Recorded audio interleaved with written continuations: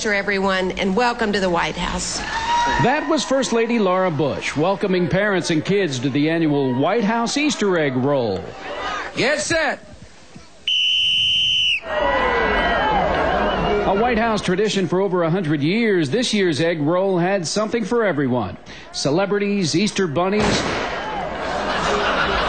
even a surprise appearance by Vice President Dick Cheney. Hmm, looks like a lot of fun.